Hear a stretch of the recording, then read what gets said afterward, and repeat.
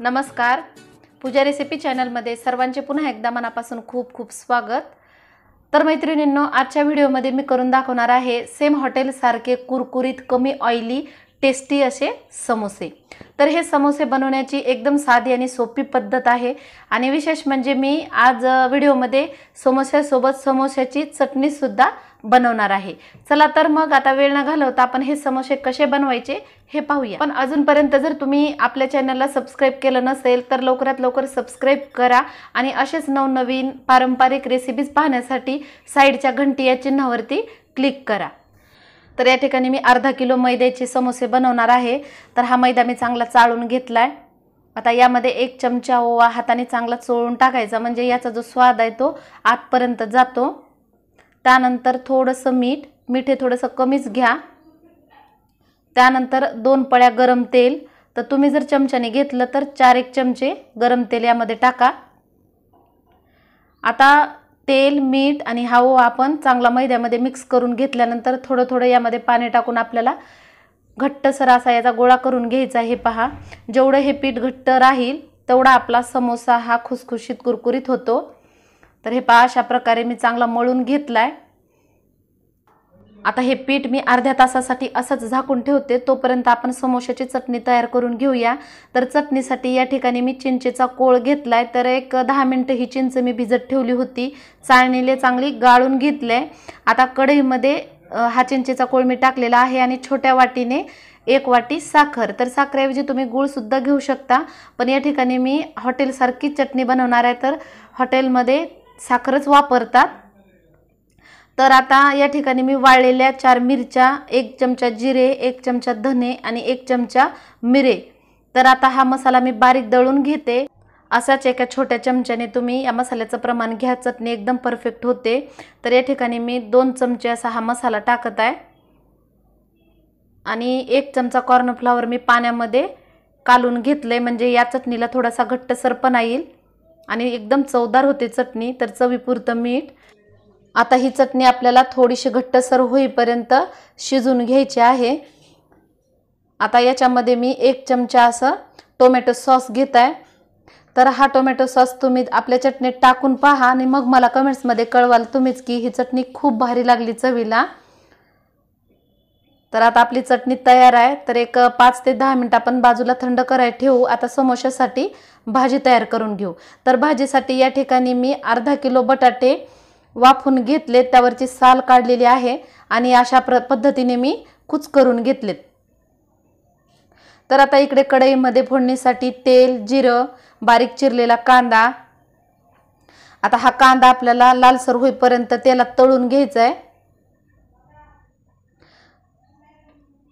तर आता याच्यामध्ये हिरवी मिरची लसूण आणि आल्याची मी पेस्ट टाकलेली आहे. तर ही फोडणी चांगली परतवून घ्यायची आणि त्यानंतर जो मी चटणीसाठी मसाला केला होता तोच मसाला एक चमचा टाकत आहे. त्यानंतर अर्धा चमचा आमसूल पावडर.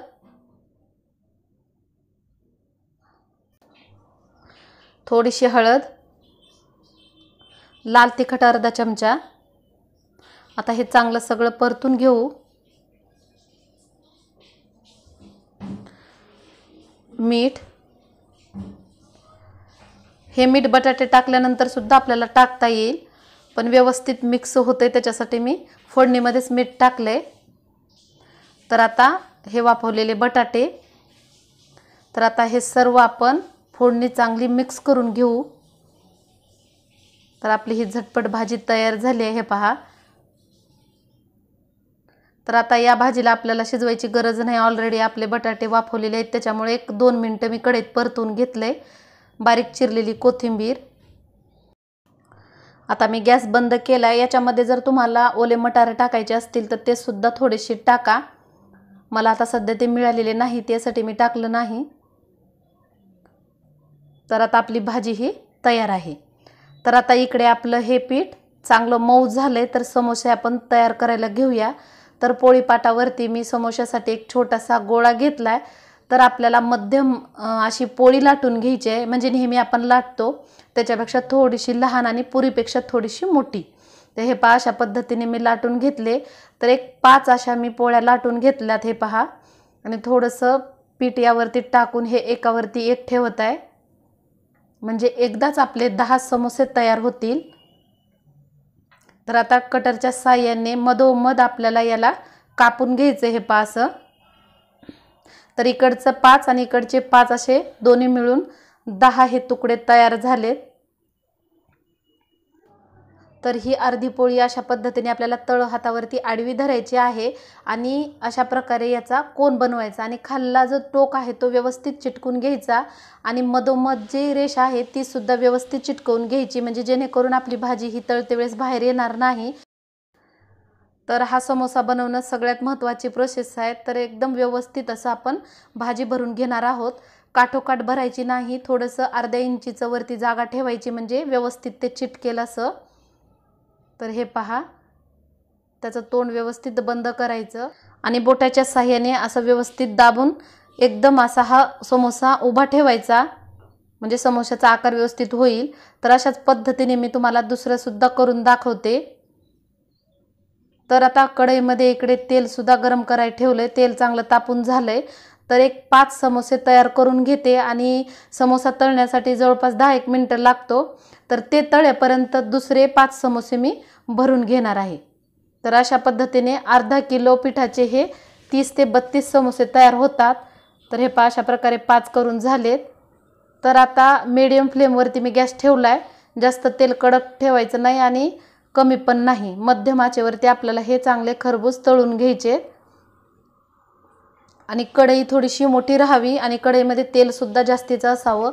म्हणजे एकदमच पाच पाच समोसे तळल्या जातील. ब्राऊन कलरमध्ये आपल्याला हे समोसे तळून घ्यायचे. तर खाली बाजू आणि वरची बाजू व्यवस्थित तळून घ्यायची. आणि सगळ्यात मेन हे समोसे तळण्यामध्येच असतात. तर हे पहा आता हे समोसे तळून झाले तर मी टिश्यू पेपरवरती काढून घेते. तर बाकीचे समोसेसुद्धा मी तळून घेणार आहे. तर हे पहा याचसोबत मी मिरच्यासुद्धा तळलेल्या आहेत. तर आपली ही चटणी आणि हे खुसखुशीत समोसे तयार झालेत मैत्रिणींनो. तर असे गरमागरम कमी ऑइली आणि घरच्या घरी जर ताजे समोसे आपल्याला खायला भेटले तर आपले घरचे मेंबर हे आपल्यावरती कायम खुश राहतील. तर मैत्रिणींनो एकदम साध्या आणि सोप्या पद्धतीने हे खुसखुशीत समोसे बनवलेले तुम्हाला जर आवडले असतील ही रेसिपी तुम्ही घरी करून पहा आणि मला कमेंट्स कळवायला विसरू नका. पुन्हा भेटूया अशाच नवीन व्हिडिओसह तोपर्यंत धन्यवाद.